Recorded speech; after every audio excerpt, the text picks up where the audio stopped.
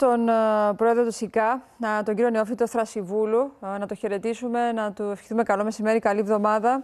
Κύριε Θρασιβούλου, γεια σας. Καλό μεσημέρι, καλή εβδομάδα. Η μέρα σήμερα μας βρήκε λίγο δύσκολη. Έχασαμε τον Αρχιεπίσκοπο μας.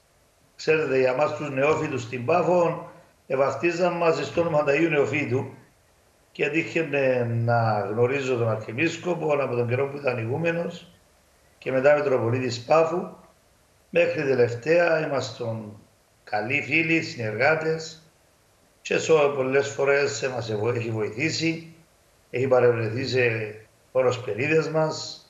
Έχουμε αναμνήσεις με τον ναι. Αρχιεπίσκοπο. Ναι. φαντάζομαι ότι έχετε, δεν ξέρω αν το έχετε μαγειρέψει κιόλας κάποια στιγμή, κύριε Θρασιβούλου. Πολλές φορές το έχω μαγειρέψει. Ποιο ήταν, ποιο ήταν το αγαπημένο του φαγητό; Ε, εντάξει, ο Αρχιεπίσκοπος συνήθως ήταν συχνό το φαγητό του, έτρωε ψάρι ή άμα υπήρχαν νηστείες, τα νηστήσιμα του. Ναι, δεν ε, ήταν δηλαδή το... Από το 1982 μαγειρεύω στο Αρχιεπίσκοπο.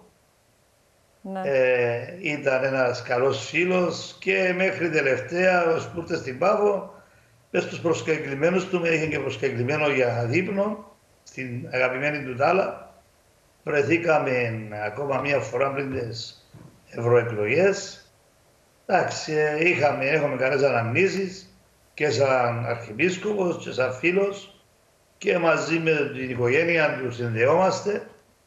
Ε, εντάξει, είναι λυπηρό, είναι ένας, ένας άνθρωπος ο οποίος ήταν ευθύς, πάντα έλεγε αυτό που ήθελε να πει, δεν κρύβεται ποτέ του. Μπορεί να ήταν αθυρόστομος, αλλά στο βάθος ήταν ένας Άγιος. Μάλιστα. Θα βάλουμε μια ανωτελεία για να επιστρέψουμε σε αυτά που έχουμε να συζητήσουμε. Πάμε ξανά